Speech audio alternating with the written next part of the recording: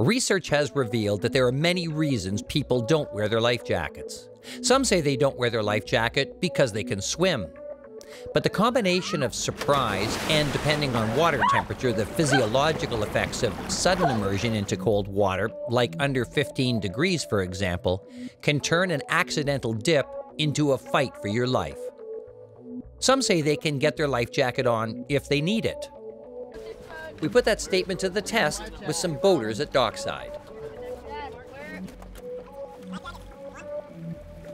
We tested how fast they could find and get their life jackets on, and the results were interesting.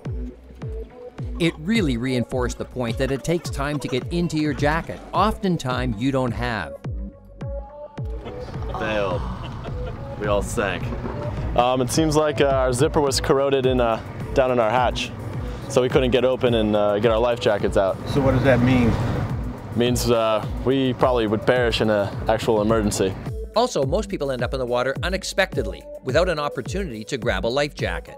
Even those that do end up in the water with their life jacket near them find getting it on in the water can be very difficult.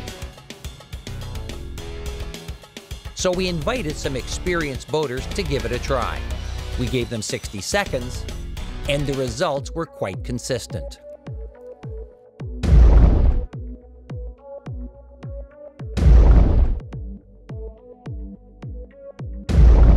That's just it, right? Is that you never know what's going to happen and you can't anticipate that kind of thing. And, you know, experienced or not experienced, I think that I, I could have kept myself above water for a short period of time, but I couldn't have kept myself above water for the amount of time that I needed for someone to get to me. Finding a proper life jacket and then trying to figure out how it unzips. And then the worst part was trying to put it on. But then you start thinking that, hey, you know, if this wasn't a real situation, I'd probably be in real trouble. Uh, experience here today was, I didn't know what to expect coming in, but uh, it was definitely an interesting experience and I learned um, that at first I didn't actually know how to put a life jacket on in the water and so it took me a little bit to learn that, uh, that part of it.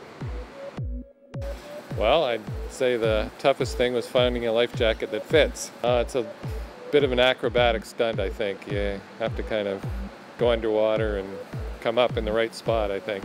By the second time, I was a little tired. The life jacket wouldn't unzip. So it kind of felt like if this was the real world, I would be in trouble. more and more people are getting it. And with the new styles of life jackets and PFDs to fit everyone's boating lifestyles, wearing it whenever you're aboard is not only smarter, it's also becoming more commonplace. I would definitely recommend uh, getting a properly fit life jacket, possibly getting an expert to uh, have it fit for you and wear it at all times when you're on the water.